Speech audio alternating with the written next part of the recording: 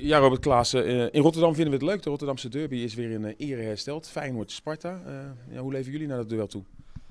Ja, het wordt een mooie wedstrijd natuurlijk om daar te spelen. Het is wel een vriendschappelijke wedstrijd, maar ja, het is natuurlijk altijd mooi om daar te spelen. Ja, misschien al een voorproefje voor volgend seizoen, hè? wanneer jullie misschien in eredivisieniveau weer tegen elkaar staan.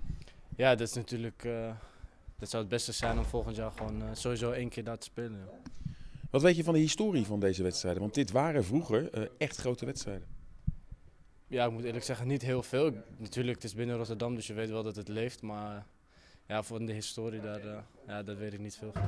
Ja, bij Spartanen eh, leefde ook altijd veel rivaliteit richting Feyenoord. Merk je dat in de aanloop naar deze wedstrijd toch ook bij supporters? Eh, nou, eerlijk gezegd hebben we, ja, merk je daar niet echt wat van. Misschien dat het komt dat het een oefenwedstrijd is. En, dus ja, daar heb ik geen, geen ergering in. Jullie kunnen allebei niet op volle oorlogsterkte aantreden. Jullie hebben allebei met eh, internationals te maken. Jullie ook eh, vier jeugd in internationals. En eh, ja, daarom is de kans groot dat jij wel weer minuten gaat krijgen. Zie je dat ook zo? Weer een kans om je in de kijker te spelen bij de trainer Pastoor? Ja, tuurlijk. eh, nu dat we weg zijn, eh, komen er anderen in beeld. En eh, ja, ik ben blij dat ik dan in beeld kom. En dan probeer ik gewoon weer, gewoon weer in, de, in de picture te komen bij de trainer. Het is maar een oefenwedstrijd. Maar goed, dat is altijd beter dan trainen. En in een toch relatief volle kuip. Hè, want er zijn heel veel kaarten weggegeven. Ja, lijkt me als voetballer heerlijk om in te, in te acteren.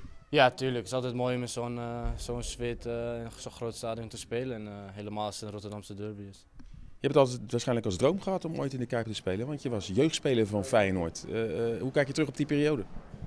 Eh, ja, op zich kijk ik er positief. Ik heb een goede tijddag gehad, eh, een goede leerschool gehad. Het werd eigenlijk uiteindelijk niet, ja, niet wat we van verwacht hadden. Dus, maar goed, het was ooit ja, een droom. Het was de bedoeling om daar te spelen ja, aan de Kuip. Zijn er nog spelers uit de huidige selectie met wie jij gespeeld hebt? Van mij lichting niet. Ik heb wel met, met Annas Atjaba gespeeld. Ja, met die lichting eigenlijk. eh, die deden wel vaak bij ons mee. Ja, die is er eh, morgen als het goed is ook bij. Toch wel even leuk dan om eh, elkaar weer te zien. Ja, natuurlijk is het altijd leuk om oude teamgenoten weer te zien en te, spreken. Het is ook nog voor een goed doel, hè, voor de Hartstichting. In hoeverre zijn jullie als spelers daarmee bezig? Ja, niet, niet, niet echt natuurlijk, omdat het meer vanaf buitenaf is. Maar we weten natuurlijk wel dat het voor, voor een goed doel is. Dus ja, maar minder als de mensen erbuiten, denk ik. 1 april begint de competitie voor jullie weer. Cruciale wedstrijd tegen NAC, althans cruciaal. Er kunnen die dag hele mooie dingen gebeuren. In hoeverre eh, speelt die wedstrijd van morgen toch mee in de voorbereiding naar dat duel? Eh, ja, ik denk op zich wel veel. Ik denk als je morgen de wedstrijd goed afsluit, ga je toch met een, eh, met een goed gevoel richting, richting NAC. Ja, hebben jullie bewezen eh, ze nu dan toch goed uit de voeten te kunnen tegen eredivisieploegen. Ja, eerder dit seizoen ook een keer de RET derby tegen Excelsior niet. Maar goed, op, op trainingskamp tegen Cambuur bijvoorbeeld weer wel. Eh, dat ligt jullie soms wel, hè? dat jullie extra ruimte krijgen. Ja, dat zijn vaak ploegen in de Eredivisie die ook willen voetballen. En dat is wij. En dat, dat wordt dan voor ons wordt het ook weer wat makkelijker dan.